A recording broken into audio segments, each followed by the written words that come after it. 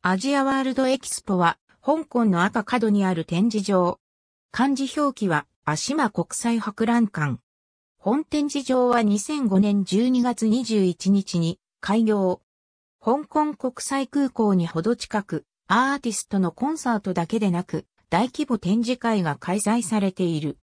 建築費23.5億香港ドルで、広さは7万平方メートル以上あり、地上10階、柱のないホールがある。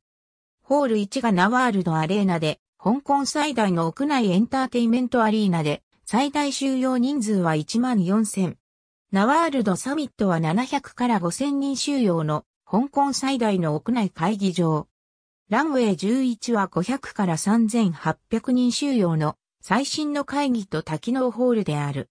アジアワールドエキスポも受賞歴のある会場で2017年展示会ニュース賞で最優秀国際会場を受賞した。空港の隣にあり、会場まで歩くことができる。香港 MTR の機上海線にある博覧館駅が最寄りである。中国本土からの長距離バスも利用可能。アジアワールドエキスポへの道路標識のほとんどは会場を単にエキスポと表記している。自家用車駐車場、スコヨシティカーパークは500台駐車可能。ナワールドアレーナとビバのホールは様々なエンターテイメントイベントに使用されている。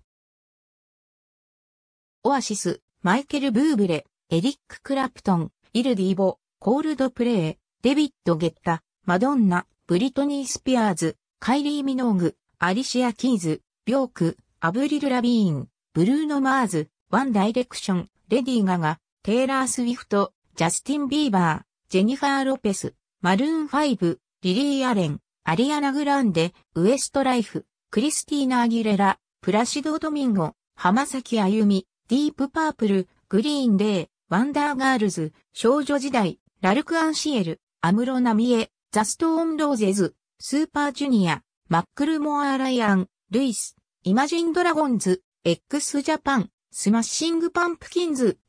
ビッグバン、2NE1、G-DRAGON、JYJ、エクソ、防弾少年団、 GOT7、モンスター X、5 Seconds of Summer、ケイティペリー、メタリカ、JCJ、シェーン・フィラン、ガンズローゼズ、 Above & Beyond、ブラックピンク、タタス。